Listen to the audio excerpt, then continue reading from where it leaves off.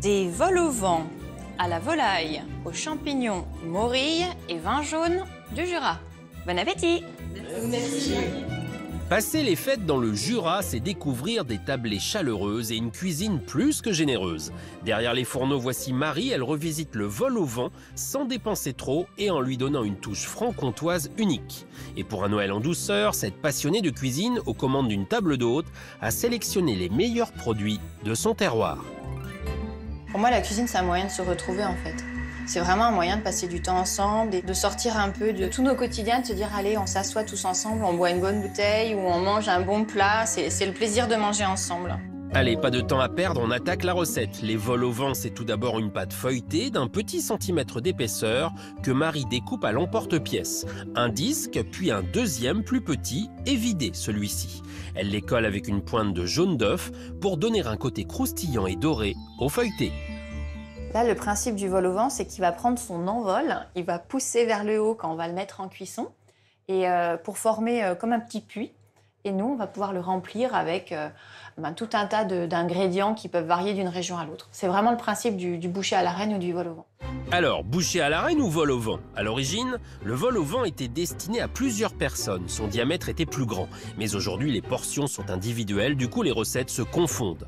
Son nom, on le doit à Marie-Antoine Carême. Ce célèbre cuisinier et pâtissier du 19e siècle a l'idée de remplacer les traditionnelles croûtes de l'époque par une pâte feuilletée tellement légère et croustillante qu'elle pouvait quasiment s'envoler. Du côté de chez Marie, le four est chaud. Et on va pouvoir enfourner pour une demi-heure à 200 degrés. Pour cette recette économique, Marie découpe des petits dés d'escalope de poulet du Jura, évidemment. Elle les fait ensuite revenir dans du beurre et un peu d'huile. C'est super tendre. C'est charnu, il y a du moelleux. Il a couru. Hein. Je pense que c'est bon. ça serait peut-être bien qu'on aille s'occuper de nos morilles. Je suis souple, parfumée et délicieuse, oui, je suis la morille. Cueilli au printemps, le champignon à la forme pour le mois atypique peut être séché puis réhydraté pour les grandes occasions. On en mange toute l'année et c'est un plat de fête. Hein. C'est un produit qu'on utilise beaucoup pour, euh, pour des plats qui, sont, qui se veulent festifs et gourmands. Pour lier sa garniture, Marie prépare un roux, un mélange de beurre et de farine qu'elle mouille avec un bouillon de volaille.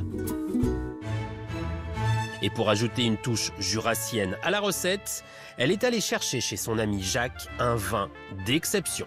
Bonjour Jacques. Oui, bonjour. Comment vous allez? Ben, ça va. Je suis en train de, tailler nos savagniens. C'est la période. Hein. Les feuilles sont tombées, le soleil brille, alors que demande le peuple? C'est dans ces terres-là qu'on fait les meilleurs vins jaunes. Avec sa belle robe dorée, le vin jaune du Jura, c'est un incontournable dans la région. Pourtant, ce vin vieilli 6 ans en fût de chêne ne fait pas toujours l'unanimité. C'est pas toujours facile à, faire déguster à vendre, parce que les gens pensent qu'il a un goût de ceci, un goût de cela, alors que c'est souvent un, goût de finition, le goût de noix, de, de curry, un excellent, une excellente longueur en bouche. C'est un très grand vin. 82 printemps et presque autant d'années passées dans les vignes, ce vin jaune, c'est la fierté de Jacques. Et si aujourd'hui le temps est au beau fixe, la météo n'est pas toujours très tendre avec le paysan vigneron. On avait un gel tous les 10 ou 20 ans, alors qu'on vient de passer 5 ans où on a 5 euh, années où on a eu des gels à peu près toutes les années, plus ou moins légers. Le plus fort est celui de cette année, hein, où on a perdu à peu près 30 à 40% des volumes. On a une excellente qualité, mais on a perdu énormément de volume. Séduite par le goût puissant de cet or du Jura, Marie l'a aussi été par la région. On a un très très beau territoire. C'est varié parce que vous avez de la vigne, vous avez euh, des vaches, vous avez de l'herbe, des bois, donc euh, c'est vraiment très beau. Vous devriez aller faire un tour, vous verrez, ça va vous plaire. Mais pour l'instant, c'est surtout en cuisine que l'on retourne faire un tour. Le vol au vent n'attend pas. Euh, bah, le four ne doit pas avoir une chaleur complètement uniforme. On a les deux extrémités qui ne sont pas tout à fait droits, mais ça va. Un trait généreux de vin jaune pour parfumer la sauce. Marie la verse ensuite sur sa préparation. Le vin jaune, il nous permet de, donner ce petit côté terroir euh, et puis on prend l'habitude de cuisiner avec. C'est vraiment, vraiment savoureux. Les vols au vent sont ensuite garnis et réenfournés pour une dizaine de minutes, le temps de préparer un dernier accompagnement. Alors comme c'est très festif, on va terminer par euh, des morilles à la crème.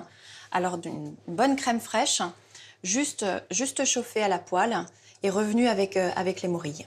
Et oui, vous l'aurez compris, dans le Jura, la cuisine est généreuse, surtout au moment des fêtes. Alors là, si vous voulez garder la ligne dans le Jura, il faut aimer aller faire de grandes balades. Si vous voulez vous régaler à table. Place à la dégustation, et si vous voulez épater votre famille à Noël avec la recette de Marie, notez bien les ingrédients pour 4 personnes. C'est vraiment un plat de fête parce que je pense qu'il n'y a pas beaucoup de personnes euh, qui cuisinent des vols au vent euh, euh, au quotidien, on va dire. Donc euh, c'est excellent et peut-être une recette à refaire chez nous, ouais, ça c'est sûr. Et on se régale à la bonne heure.